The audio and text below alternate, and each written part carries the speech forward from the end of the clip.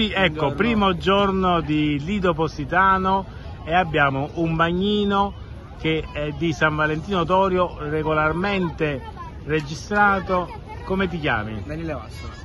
Come ti trovi qua a Positano? No, Guarda. Per essere il primo giorno, benissimo. Benissimo, bello, il giorno del Santo Patruno, è aperto il Lido Positano, abbiamo un bagnino professionale, non possiamo far altro che augurarti buon lavoro Grazie e a tutti i positanesi di godersi l'estate quando più possibile, guardate, siamo strapieni.